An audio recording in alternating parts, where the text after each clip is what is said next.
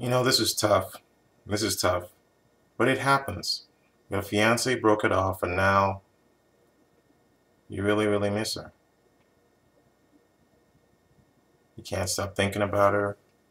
And it's tough. It's, it's hard.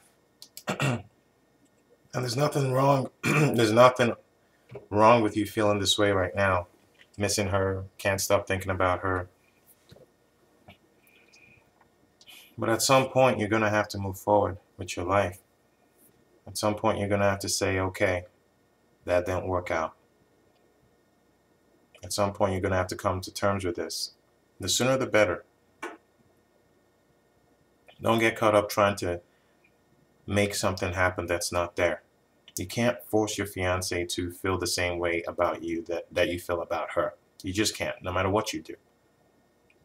It has to come from within her.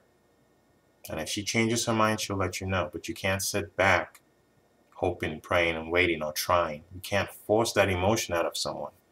So try to get yourself out of that frame of mind.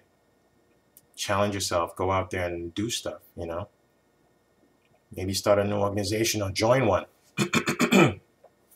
Maybe write stuff down.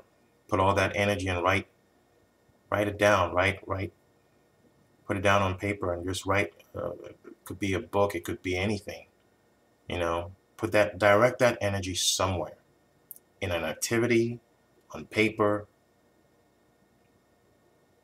You know, how you can even create a blog and, and, and write about it. But the key here is don't dwell on this.